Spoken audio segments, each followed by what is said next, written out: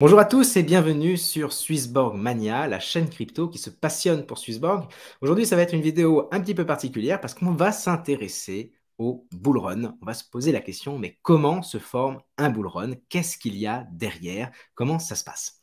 Euh, Parce qu'il y, a de la psychologie, il y a évidemment des fondamentaux, euh, il y a tout un état d'esprit collectif qui arrive et qui fait qu'on se dit, mais oui, ça y est, le bull run est là et on va changer du coup nos, nos, a priori, notre fonctionnement, et, euh, on va voir tout ça et, comment finalement c'est ça qui peut entraîner des, phénomènes de valorisation euh, du Bitcoin euh, incroyables. Évidemment, c'est une vidéo qui a pour objectif de vous expliquer des choses. Donc, n'hésitez pas à poursuivre euh, votre euh, éducation en allant sur euh, d'autres sites internet, regarder d'autres vidéos qui vous expliqueront plus en profondeur tout ça. On a fait une vidéo notamment sur comment anticiper un bear market, parce que s'il y a un bull run, c'est qu'il y a aussi un bear market en crypto. Donc, je vous mettrai un lien dans la description et elle affichera à la fin de la vidéo aussi. Donc, si ça vous intéresse, n'hésitez pas. Je pense que les deux sont vraiment euh, importante. Alors, on va avant tout revenir sur les bases parce que tout le monde n'a pas forcément conscience de ce qu'est Bitcoin. Bitcoin, c'est une monnaie euh, numérique euh, qui essaye de transformer le monde et apporter plus de liberté à chacun. Et c'est sa caractéristique principale en entre guillemets, en dehors de son incensurabilité et du fait que je peux envoyer de l'argent à qui je veux, quand je veux, partout dans le monde, euh, comme ça, sans avoir à demander l'autorisation à qui que ce soit, eh ben, c'est que c'est une monnaie dure. Une monnaie dure, on va voir ça dans un instant, c'est que c'est une monnaie dont la quantité est limitée et surtout, il est très difficile d'en créer de nouveaux. Il y a une caractéristique essentielle au Bitcoin qui permet de justifier un petit peu tout ce qui arrivera euh, par la suite, c'est le fait que Bitcoin est une monnaie dure.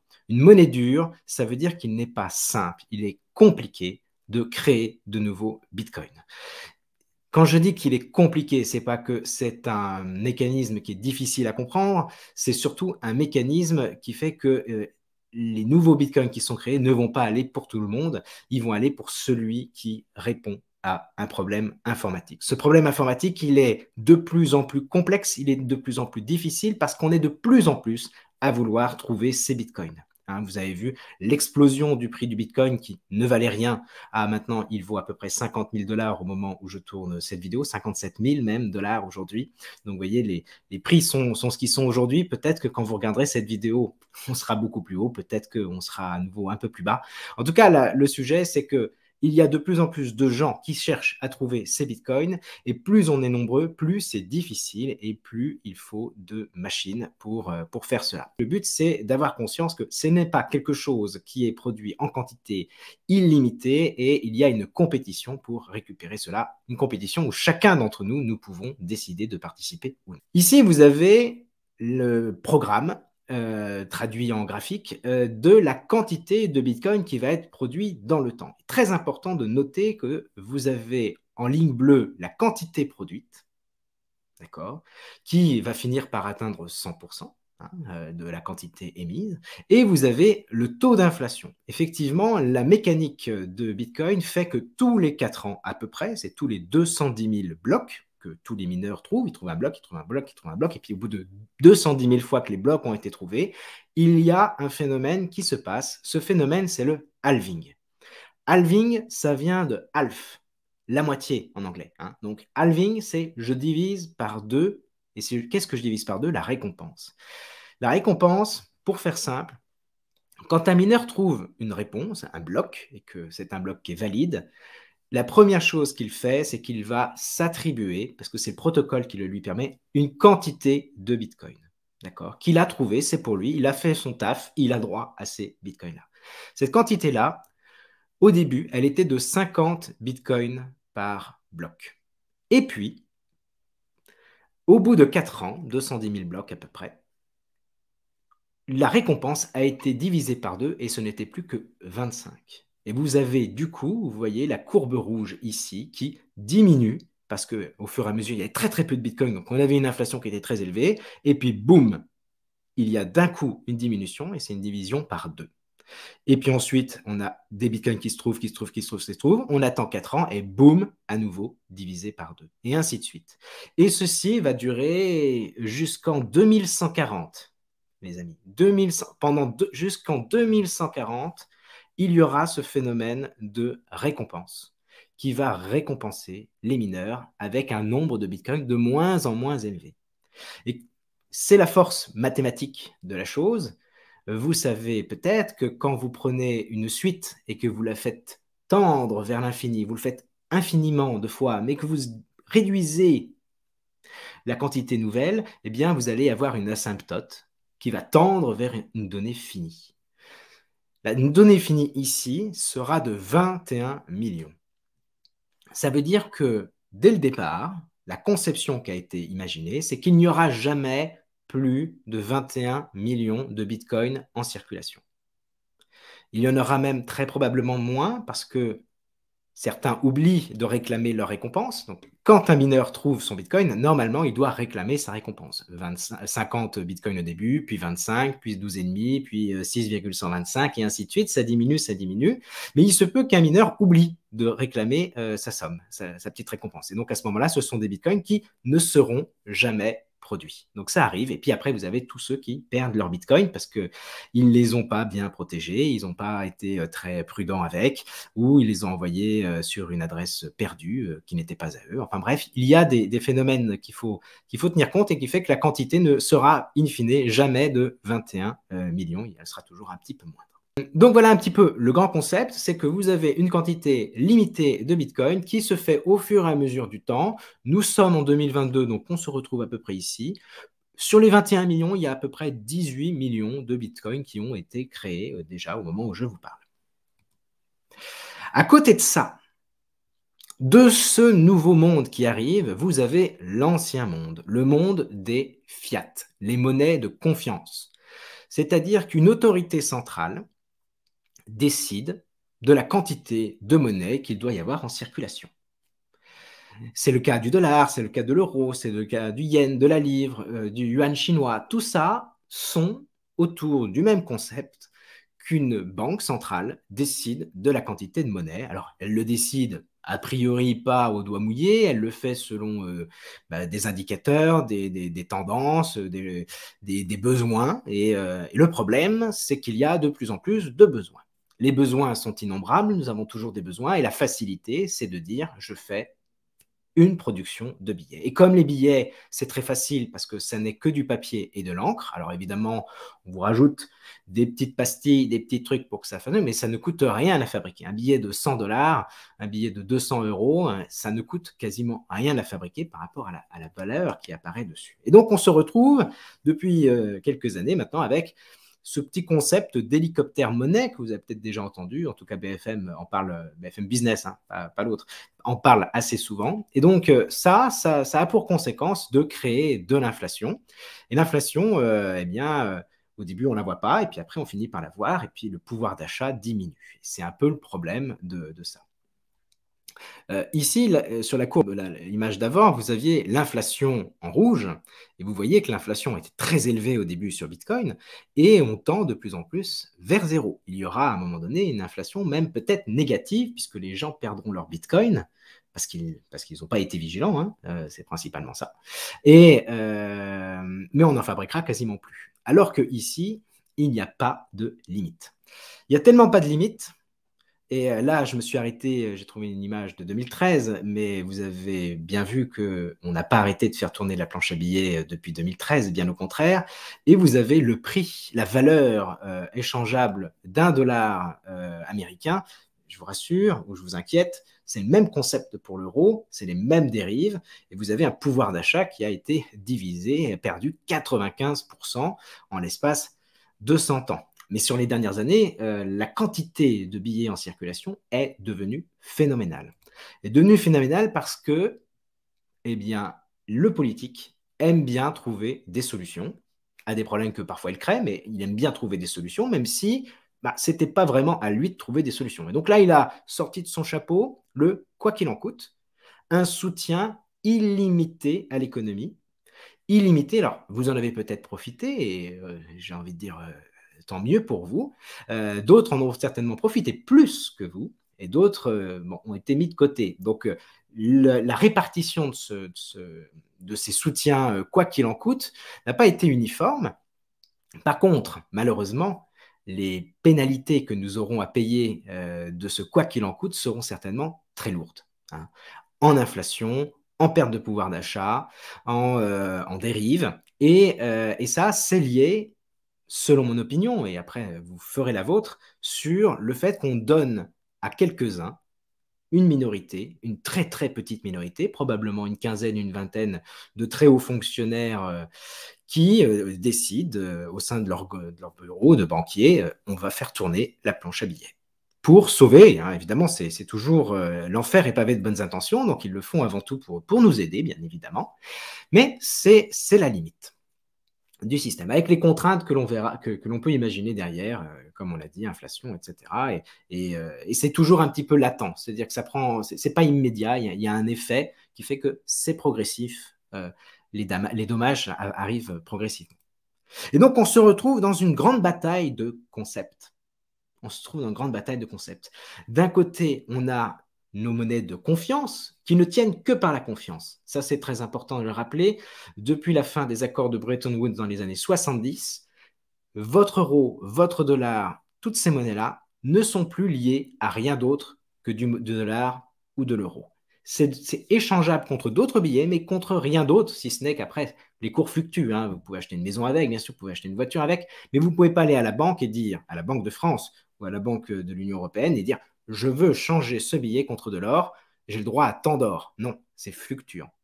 On est arrivé dans un système fluctuant. Et à côté de ça, on a Bitcoin avec cette promesse de 21 millions maximum. C'est tellement une promesse forte que vous avez vu. Capital euh, fait un partenariat avec un, célèbre membre de la cryptosphère, Grégory Raymond, qui a fait carrément intituler sa, sa newsletter 21 millions. C'est dire si la promesse Bitcoin, elle est ancrée autour de ce chiffre de 21 millions. Et donc, on a une quantité d'un côté qui est limitée à 21 millions, et de l'autre côté, quelque chose qui s'emballe, dont la quantité est infinie sans limite, le quoi qu'il en coûte.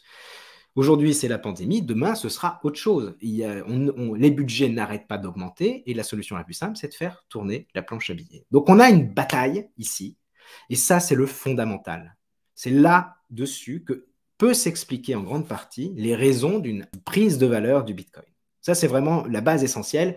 Si vous n'avez pas ce premier calibrage dans la tête, vous ne pourrez pas euh, comprendre euh, la suite. Grâce à ça, des économistes, et notamment euh, Plan B, donc il a un compte Twitter, c'est Centrion, donc, parce que son modèle économique qui euh, se base sur ce côté de halving et de division par deux de la récompense tous les 210 000 blocs, il a constaté une certaine corrélation avec le prix du Bitcoin.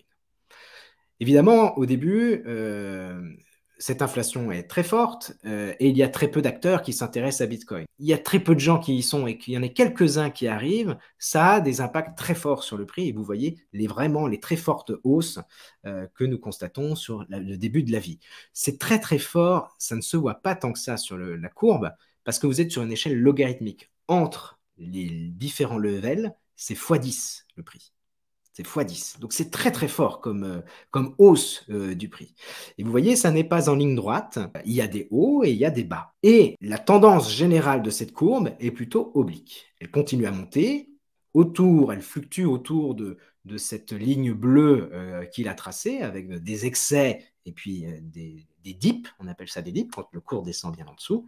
Donc voilà, ça fluctue autour avec, avec des excès parfois très importants. Ça, c'est très intéressant parce que ça nous donne si ce modèle économique euh, se confirme, une trajectoire et il se trouve que souvent en économie, il y a des phénomènes autoréalisateurs. Et plus les gens croient à quelque chose, plus il a tendance à se réaliser. Le modèle sera confirmé que plus tard. Aujourd'hui, on ne peut que partir du principe que c'est une hypothèse parmi tant d'autres et que peut-être c'est la bonne. Euh, donc en tout cas, il y a cette tendance-là. Donc le stock-to-flow ratio, qui a permis d'éditer euh, ce graphique-là, vient d'un concept qui est de regarder la quantité qui existe par rapport à la quantité nouvelle créée. L'or est un très bon point de comparaison par rapport à Bitcoin, parce que vous avez un stock d'or qui existe, et vous avez des mineurs qui, pour le coup, vont vraiment sous terre, parfois sous les océans, chercher de l'or, l'extraire, à la sueur du front de, centaines de milliers d'hommes, et surtout d'énergie, parce que pour aller creuser de plus en plus profond, il faut des machines, il faut de la force, il faut etc. Et donc, vous avez un stock qui existe et un flux. Et donc, c'est la proportion entre le flux nouveau et la quantité déjà sortie qui permet derrière d'avoir ce, ratio-là. Et donc, avec Bitcoin, on est un peu dans la même philosophie parce que vous avez un stock de Bitcoin qui existe et vous avez un flux nouveau. Et ce flux nouveau, c'est pas l'humain qui va le ralentir, c'est le programme informatique qui a prédit que de toute façon, il serait de plus en plus difficile d'en créer des nouveaux pour tendre à ces 21 millions. Et donc l'inflation va être de moins en moins forte. Et tout ça, ça nous amène à cette courbe-là qu'on a vue, donc, ce n'est pas euh, tiré de nulle part, c'est tiré du fondamental. Il se trouve que Bitcoin vit des cycles. Hein. On a vu la courbe, ça monte, ça descend, euh, et alors dans cette trajectoire. Euh, donc, il y a des phases. Et parmi ces phases-là, il y a la phase de bull run. Cette phase de bull run, c'est ce moment où, entre guillemets, on est en découverte du prix. Il y a une conjonction de facteurs qu'on va décrire qui va entraîner le prix du Bitcoin à la hausse dans des, dans des, phénomènes très forts. Euh, il faut avoir en tête que ces cycles se répètent, principe du cycle, euh, et s'il y a de la hausse, il y aura aussi de la baisse. Donc l'important, c'est de l'avoir en tête. Euh, là, les planètes semblent alignées pour qu'on ait un prochain bull run, mais il se peut qu'à la fin de ce bull run, et c'est très probable, nous ayons la chute. Donc, gardez ça en tête. Alors, le bull run, il se déclenche, il peut se déclencher avant, mais en tout cas, on peut se dire qu'il est vraiment parti quand le prix du Bitcoin atteint un nouveau plus haut historique. All-time high, nouveau plus haut, nouveau plus haut historique. Et là, on le voit, là, j'ai pris euh, les images de 2020, fin 2020, où enfin le prix du Bitcoin franchit l'ancien plus haut historique. Donc on pourrait toujours se dire, oh là là, c'est pas terrible, il aurait mieux valu investir ici quand il ne valait que 3200.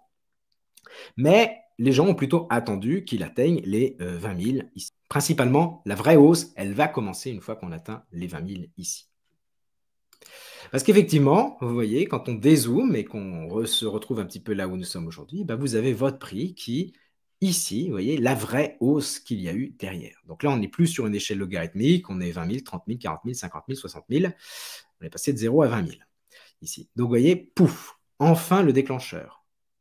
Enfin le déclencheur. Et là, entre le point haut précédent qui était arrivé en 2018 et le point haut autour de mars-avril, on a fait x 3,2.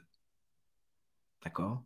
Et on voit, hein, l'explosion est vraiment rapide ici. Hein. C'était assez lent là, et puis poum. Alors pourquoi est-ce que le franchissement d'un ATH, eh bien, ça déclenche le bull Eh bien, parce que tant que vous n'avez pas franchi ce point-là, vous avez encore une incertitude si c'est le bull. Alors, généralement, certains vont même être un peu plus prudents et vont dire non, mais c'est pas parce qu'il a juste franchi, il faut qu'il l'ait franchi, qu'il reste un petit peu au-dessus et qu'il ait franchi euh, peut-être de 2, 3, 4 000 dollars, histoire qu'on soit bien sûr que ce ne soit pas un piège. Hein, parce qu'il peut y avoir des, des pièges aussi. Hein. Mais une fois que c'est acquis, c'est une confirmation pour tout le monde.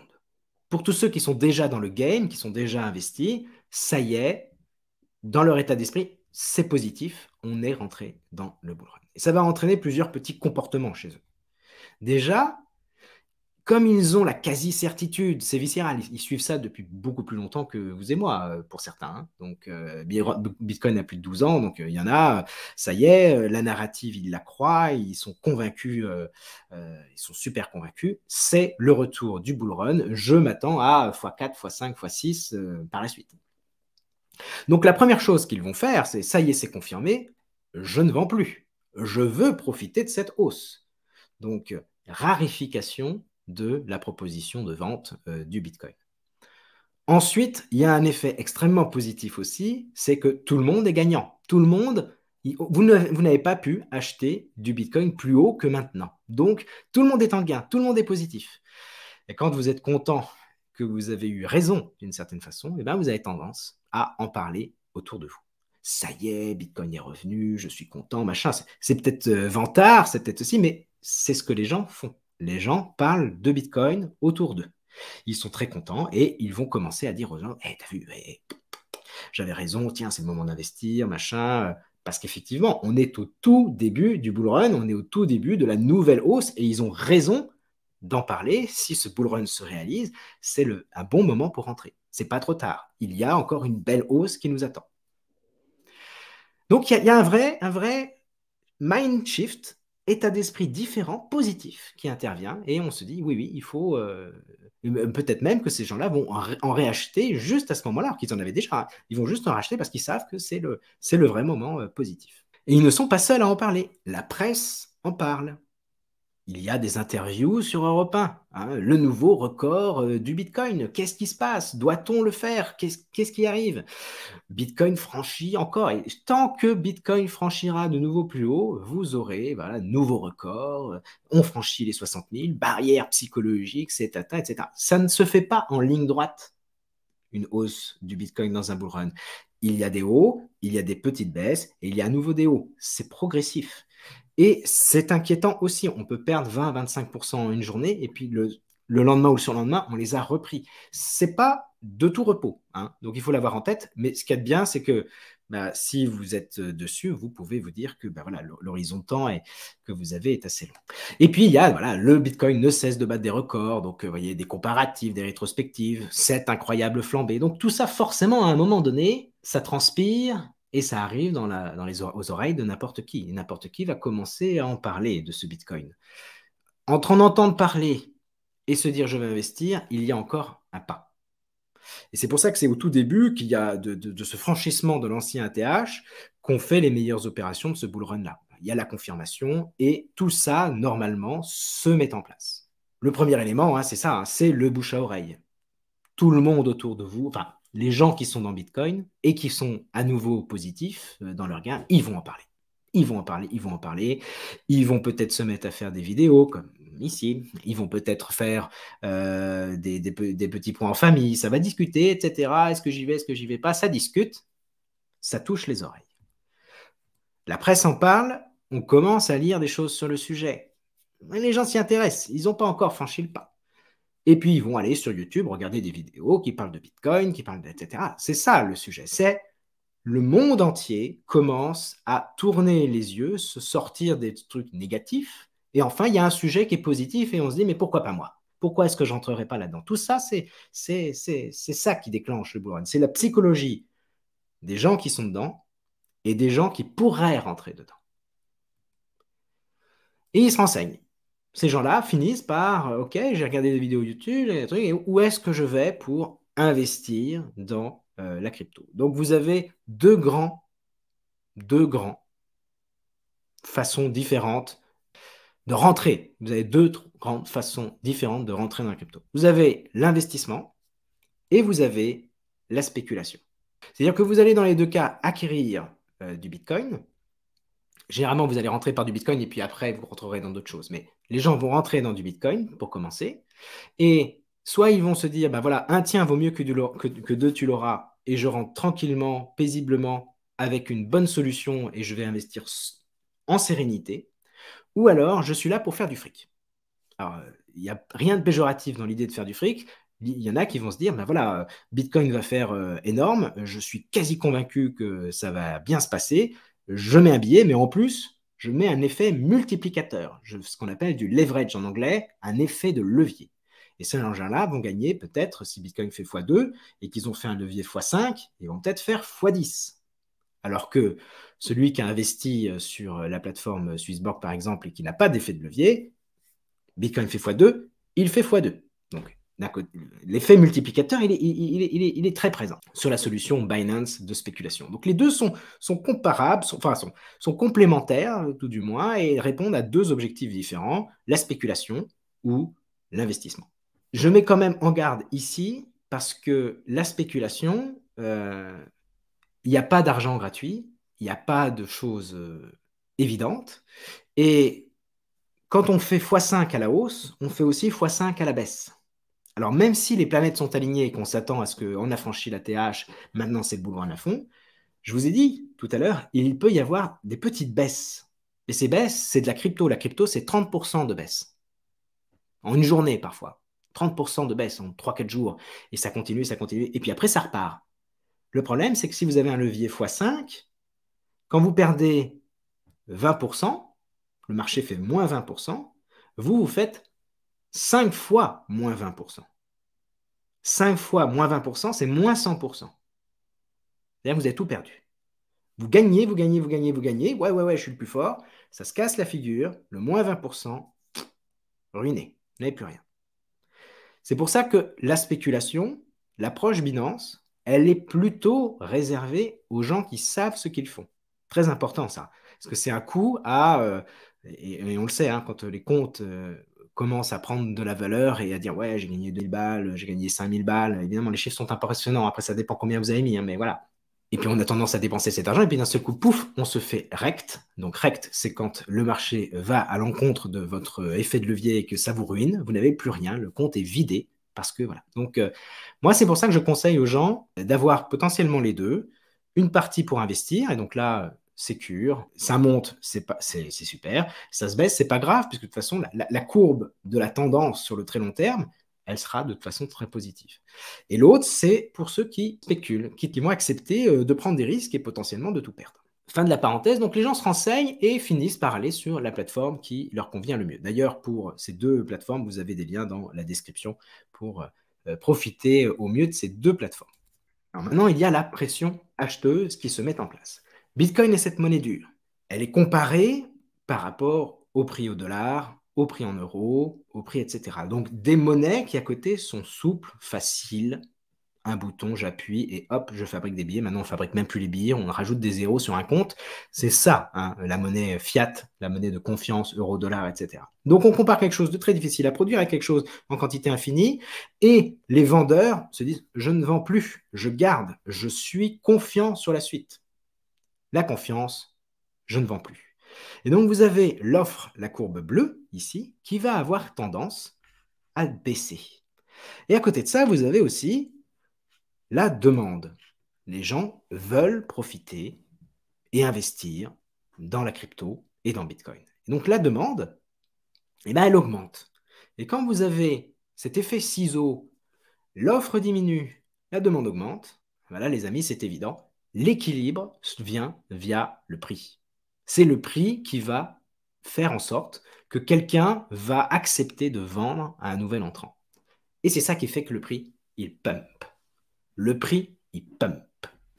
Voilà, donc il explose à la hausse. C'est là que vous voyez après ce moment-là toutes ces, toutes ces belles images euh, de gars qui est sur une fusée Bitcoin, etc. Parce qu'effectivement, le prix monte. Donc historiquement, on a eu euh, plusieurs cycles. Et donc, euh, on a eu un cycle euh, au tout début. Le premier cycle, très difficile à déterminer parce qu'en fait, le coefficient multiplicateur, il n'y avait pas de prix. On était à zéro, personne ne voulait du Bitcoin. Il y a même un type qui a acheté deux pizzas pour 20 000 Bitcoin. Donc 10 000 Bitcoin la pizza, vous imaginez le prix.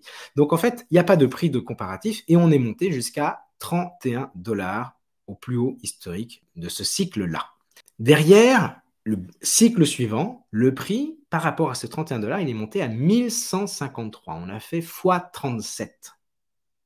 Vous imaginez, vous mettez 1000 dollars, vous avez 37 000 dollars. Vous mettez un mois de salaire de côté, ça fait 37 mois de salaire à la fin. C'est ça qu'il faut se dire. C'est un vrai potentiel euh, de multiplication. Donc x37. Le cycle d'après, on a eu x17. On est passé de 1100 à 20 000 de 1100 à 20 000. Barrière psychologique des 20 000, on a légèrement franchi, puis pouf, on est tombé et on est parti dans un bear market. Et là, enfin, on est en 2021. On ne sait pas quel sera le prix ultime de euh, ce bull run. On ne sait pas quel sera le, prix à atteindre. Constatez quand même que, comme tout à l'heure, je vous montrais cette courbe qui a tendance à se, planir. Donc, on le constate ici, un, pourcentage absolu ici, puisque personne, euh, n'y avait pas de prix avant. Et après, ça descend. 37 x 37 x 17. Donc si on divise à peu près par 2, on peut s'attendre à un x 8. x 8, par exemple, c'est à peu près 160 000 dollars euh, le Bitcoin dans une hypothèse moyenne. Bah, c'est bon. C'est pas mon avis, j'ai pas de vrai avis là-dessus, je vais pas vous le donner mon avis là-dessus, mais on est un peu dans ce, dans cette, euh, dans cette suite cette logique-là, on divise par deux à peu près la multiplication par rapport à l'ancien plus haut et vous arrivez à 160 000 mécanique, euh, mécanique simple. Alors, il y, y a des amis qui euh, bah, ont développé des études euh, pour essayer de prédire le Bitcoin. C'est très difficile de prédire le Bitcoin parce que, parce que bah voilà, ça dépend de la quantité de personnes qui arrivent, de l'argent qu'ils apportent, à quel point les vendeurs retiennent et décident de, de ne pas vendre. Donc c'est tout, tout ça. Grosso modo, on peut attendre, on peut s'attendre à ce que la fin de ce bull run soit entre 90 000 et 460 000 dollars. Euh, vous avez ici ce qu'on appelle le Rainbow Chart. Ce graphique permet à celui qui, s'y intéresse de voir à peu près dans quelle période nous sommes. Donc, euh, sachant que les points hauts sont généralement dans les zones rouges, euh, mais parfois on peut dépasser la zone rouge. On sort carrément du rainbow. Donc, rainbow, ça veut dire arc-en-ciel. Et vous voyez, ici, on est monté encore plus haut. Donc là, c'était un signal mais à l'époque, il n'y avait pas ces graphiques-là. C'était un signal qu'effectivement, on était trop cher. Euh, mais quand vous êtes en zone rouge, on est déjà a priori très cher. Hein. C'est maximum bubble territoire. C'est le territoire a priori euh, maximum du cycle. Donc les gens, ce qu'ils font quand ils connaissent ce, graphique-là, bah, c'est qu'ils le surveillent. Donc il y a un site internet qui s'appelle Rainbow Chart. Vous allez dessus et vous allez pouvoir suivre. Et si vous voyez que le cours commence à entrer dans les zones rouges, bah, vous pouvez vous dire euh, je vends un petit peu et je prends mes gains et comme ça je suis, euh, je suis tranquille. Mais sinon, quand euh, on est dans les zones bleues ou vertes ou jaunes, eh ben, c'est plutôt euh, des moments où on peut investir de manière sereine, théoriquement, parce que on croit à cette, à cette, à cette courbe-là. Donc en ce moment, on est dans la partie hodl où donc le hodl, c'est où il faut tenir ses bitcoins parce que va survenir la partie qui nous intéresse le plus, le bull Je rappelle qu'il n'y a donc pas d'argent facile. Ça n'existe pas l'argent facile, de l'argent qu'on vous donne comme ça pour rien faire. Donc forcément, si vous allez faire de l'argent, c'est qu'il y a un risque quelque part. Et plus vous allez vous faire de l'argent, plus il y a un risque derrière. Il faut l'avoir en tête. Donc il y a plusieurs façons d'investir dans la crypto. Vous pouvez le faire avec Swissborg, où il n'y a pas d'effet de levier. Vous achetez euh, avec vos euros directement euh, du Bitcoin et euh, vous le gardez au chaud et puis, euh, bah voilà, Bitcoin fait x2, vous faites x2, il fait x5, vous faites x5, pas de souci. Ou alors, vous spéculez et vous essayez de faire plus. Plus que le x2, plus que le x5. Et pour ça, vous allez utiliser Binance. Binance est la plus grosse plateforme. Et en France, euh, les deux plateformes qui sont les plus utilisées, c'est Binance puis euh, Swissborg. Vous voyez, je vous présente les deux plus grosses.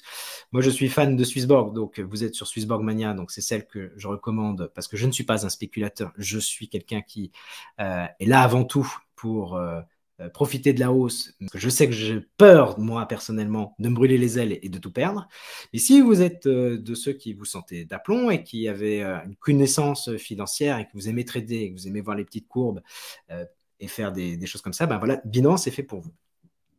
Je mets et et ou parce que j'aime bien l'idée de se dire on peut tout à fait spéculer et puis quand on fait des gains, parce que vous allez faire des gains, vous pouvez vous dire bah, cette partie-là que je veux surtout pas perdre, je vais la basculer sur une plateforme pour investir et diversifier, etc., qui est Swissborg.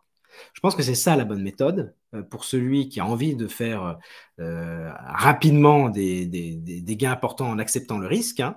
eh ben, c'est de dire, voilà, dès lors que j'ai fait euh, un gain, eh ben, je mets peut-être 10% de ce gain-là sur une plateforme où je suis tranquille, je suis serein, peu importe les météorites qui tombent, j'ai un bouclier de protection qui mettra à l'abri mes bitcoins. Parce que parfois, sur les plateformes, il y a des bugs et euh, vous mettez des ordres stop. Les ordres stop, pour ceux qui connaissent un peu, c'est des ordres qui vont vous permettre euh, d'éviter de continuer à subir la chute. Vous avez vendu et donc euh, vous n'êtes pas impacté par la suite. Mais quand il y a des bugs, parfois, eh bien l'ordre stop ne se déclenche pas et vous aviez beau avoir tout fait bien de votre côté, bah, vous êtes sanctionné, pas de votre faute, mais parce que la plateforme n'a pas été capable de traiter l'opération.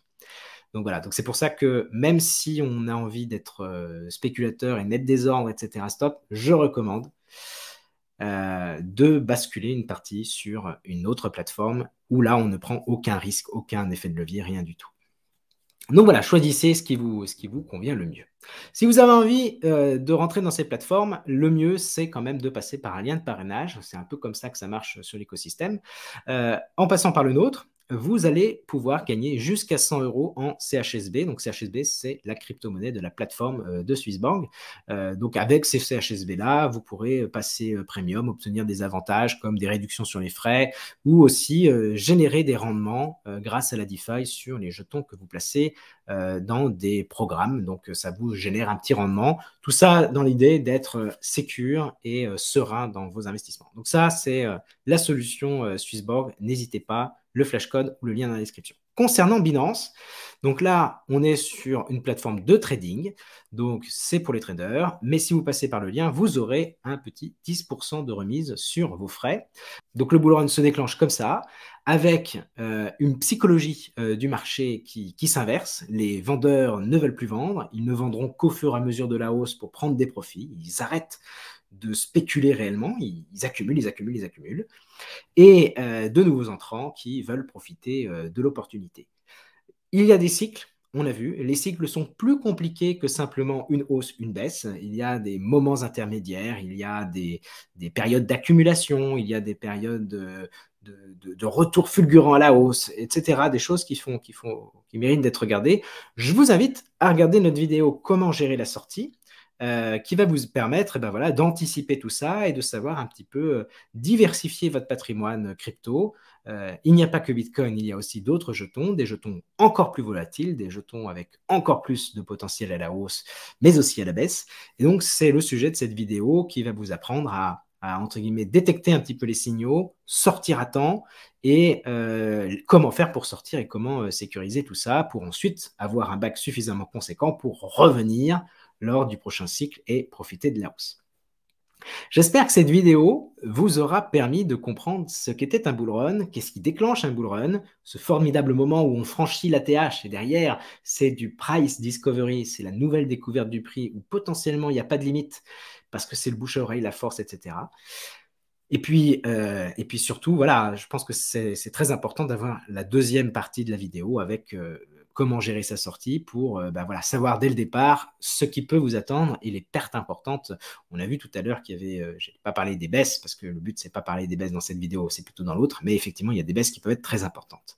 Je vous remercie à tous pour votre attention. Si elle vous plaît cette vidéo, likez-la, partagez-la euh, sur tous les réseaux que vous connaissez. C'est la meilleure façon de récompenser le petit travail que nous faisons ici. Merci à tous, bonne journée et bon bull run.